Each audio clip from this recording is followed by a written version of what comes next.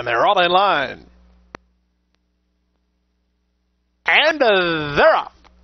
Toward the inside, Niche begins the best. From the outside, Maximus Decimus is in fact hustled out to try to get the lead. Mongolian Chrome is away in the top flight. These three are quickest.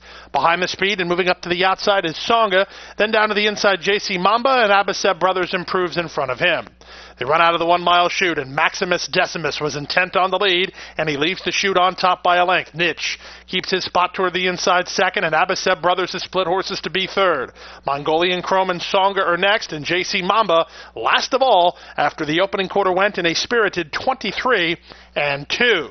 Here's Niche taking it to Maximus Decimus, Niche and Edgar Prado onto the front now, three parts of a length. Now opened it up to two and a half. Racing second, Maximus Decimus, a stretch of five to Abaseb Brothers.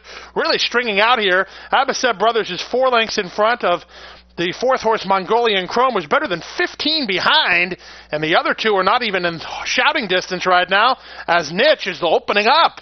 Niche and Prado have opened up a 12 length lead now.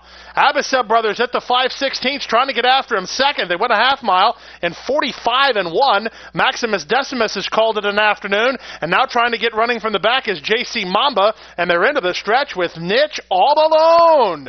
Niche enters the stretch in a position where he possibly cannot lose. He's in front by 15. Abaseb brothers is second. He's 15 in front of JC Mamba and they're in deep stretch, and this is all Niche. Niche carves a big niche. He wins easy. Double digit win, and he was never asked for his best.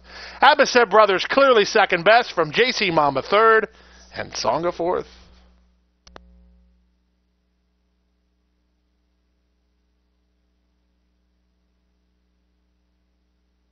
Rainbow Six.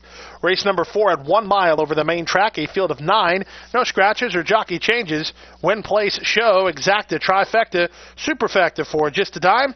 Start of the 20 cent Rainbow Six. Pick three and daily double wagering also on the menu.